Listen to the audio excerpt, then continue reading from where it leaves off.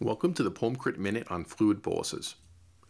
In order to benefit from a fluid bolus, a sequence of conditions must be met. Let's walk through them. Fluid responsiveness is defined as an increase in cardiac output.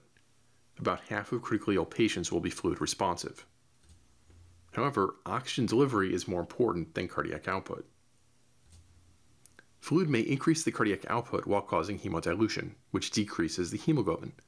This won't improve the DO2 so only some of patients who are fluid responsive will also be DO2 responsive. Not all of the oxygen delivered to the body will actually be used. Sick patients may be unable to use extra oxygen because of microvascular or mitochondrial dysfunction. Therefore, only some of the patients who are DO2 responsive will also be VO2 responsive. Finally, even if there is increased oxygen utilization, fluid boluses may damage the vascular endothelium, Many studies show that hemodynamic improvement following a fluid bolus only lasts for a few hours. Overall, fluid boluses will rarely cause sustained clinical benefit.